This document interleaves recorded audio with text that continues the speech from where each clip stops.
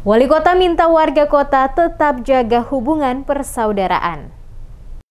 Wali Kota Ambon Risat Lohana Pesi meminta masyarakat Kota Ambon untuk memberikan yang terbaik bagi kota ini dalam bentuk hubungan kemanusiaan, persahabatan dan persaudaraan dalam menghadapi isu-isu yang berkembang di Kota Ambon. Hal tersebut disampaikan langsung oleh Lohana Pesi untuk menepis isu-isu yang berkembang di kota Ambon pasca konflik yang terjadi di Pulau Haruku antara negeri Kariu dan Ori beberapa waktu lalu. Demikian dikatakan wali kota di Balai Kota Ambon pada Senin 14 Februari 2022.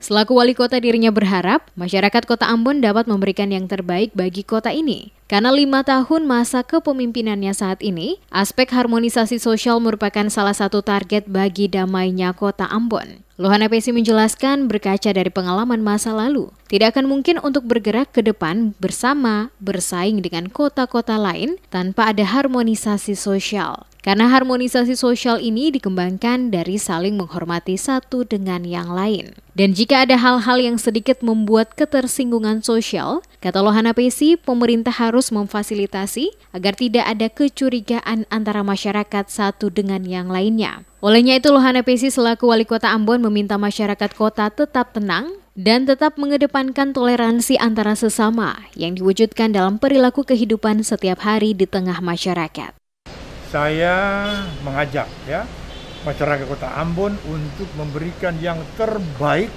bagi kota ini dalam bentuk hubungan kemanusiaan ya hubungan persahabatan persaudaraan kenapa sampai pemerintah kota Ambon itu menetapkan lima tahun ini aspek harmonisasi sosial itu menjadi target kita.